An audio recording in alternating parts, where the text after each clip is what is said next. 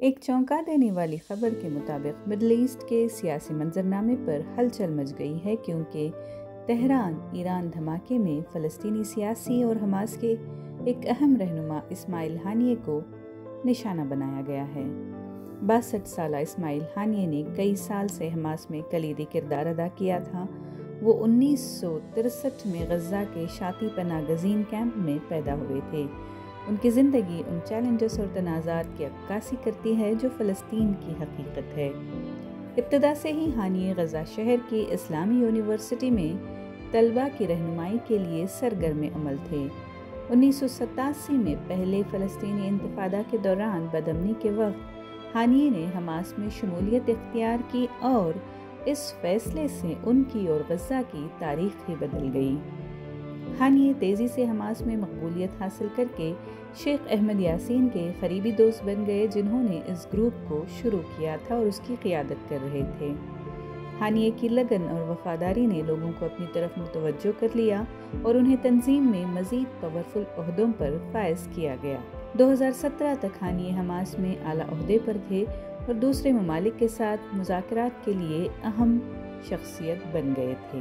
1980 और 1990 की दहाइयों के दौरान हानिए को बहुत सी रुकावटों का सामना करना पड़ा।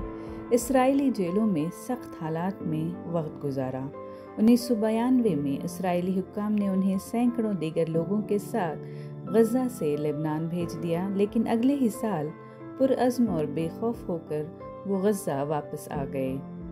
सुन्नी मुस्लिम हानिए ने हमास की फ़ौजी ताकत बढ़ाने और शिया मुस्लिम ईरान के साथ अहम रवाबित उसवार करने में कलीदी किरदार अदा किया है। ईरान के अहम दौरों में 2017 में supreme leader Ayatollah Ali Khamenei के साथ मुलाकात भी शामिल थी। दूसरे ममालिक के साथ हानिए की बातचीत और उनके पुरज़म रवैये की वजह से लोग उन्हें इसराइल गज़ा लड़ाई में मुजाकर का अहल समझते थे।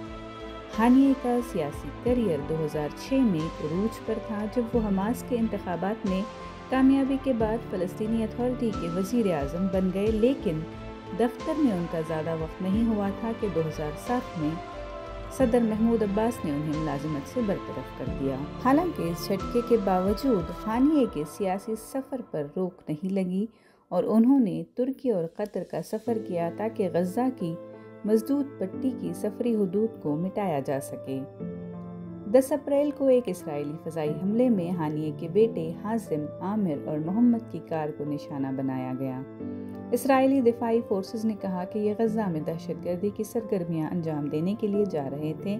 इस हमले में हलाक अपने बेटों और चार पोतों के गम में हानिए शदीद मगमूम थे, मगर उन्होंने इसराइल के दावे को भी मुस्तरद कर दिया। हमास ने दावा किया है कि बासठ साल हानिए और उनका एक मुहाफ़ इसराइली हमले में मारे गए हैं। ग्रुप ने इल्ज़ाम लगाया है कि हानिए को तेहरान में उनकी रिहाइश गाह पर मारा गया है। हलाक होने से एक दिन कबल हानिए ने ईरान के सदर मसूद पेशकियान की हल्फ बर्दारी तकरीब में शिरकत की थी और सुप्रीम लीडर आयतुल्ला खुमैनी से भी मुलाकात की थी। इस कत्ल से कशीदगी में इजाफा हुआ है और हमास की अगली क़्यादत पर अंदाजे लगाए जा रहे हैं। इसमाइल हानिया की ज़िंदगी और मौत मिडल ईस्ट में पेचीदा और देर पा तनाज़ात की तस्वीर कशी करती है। एक रहनुमा, वालिद और सफारतकार के तौर पर उनकी मीरास फ़लस्तनी शनाख्त और ख़ुद मुख्तारी की लड़ाई से जुड़ी हुई है। इसमाइल हानिया की कहानी फ़लस्तीनियों और इसराइलियों के दरमियान जारी तनाज़े का अहम तरीन बाब है।